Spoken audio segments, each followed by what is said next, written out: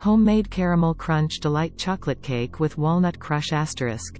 Hey there, welcome back to our multi-recipes and COOKERIES channel kitchen. Today, I'm excited to show you how to make a decadent caramel crunch delight chocolate cake with a delightful walnut crush topping. It's a treat for all the chocolate and caramel lovers out there. Let's dive right in. For the cake. 2 cups all-purpose flour. 1 and 3 quarters cups granulated sugar. 3 quarters cup unsweetened cocoa powder. 1 and half a teaspoon baking powder. 1 and half a teaspoon baking soda. 1 teaspoon salt. 2 large eggs. 1 cup milk. 1 half cup vegetable oil. 2 teaspoons vanilla extract. For the caramel sauce. 1 cup granulated sugar. 6 tablespoons unsalted butter. 1 half cup heavy cream. 1 teaspoon vanilla extract. A pinch of salt. For the topping. 1 cup chopped walnuts. Preparation Step 1 Making the cake Preheat the oven to 350 degrees Fahrenheit, 175 degrees Celsius. Grease and flour two 9-inch round cake pans. In a large mixing bowl, combine flour, sugar, cocoa, baking powder, baking soda, and salt. Add eggs, milk, oil, and vanilla. Mix until well combined.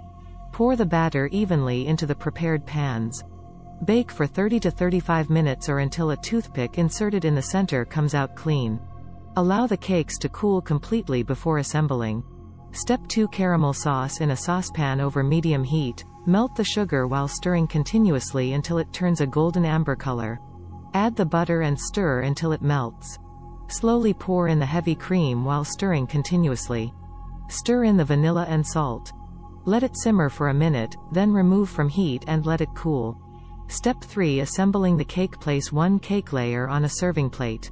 Spread a layer of caramel sauce on top. Sprinkle a handful of chopped walnuts over the caramel. Place the second cake layer on top and cover the entire cake with the remaining caramel sauce. Finish by generously sprinkling the remaining chopped walnuts on top.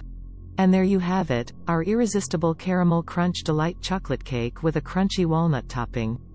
This indulgent treat is perfect for any celebration or just for satisfying your sweet tooth.